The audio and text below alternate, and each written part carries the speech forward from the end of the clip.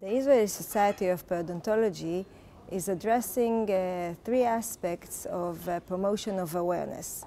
The first one is addressing the patients, very big campaign to raise the awareness of the patients for periodontal problems and their effect on the whole body. Secondly, we're going to address medical doctors as uh, an intermediate, as professionals that will help the patients know when to refer to a periodontist for uh, second opinion. Third part will be addressing the dentists themselves.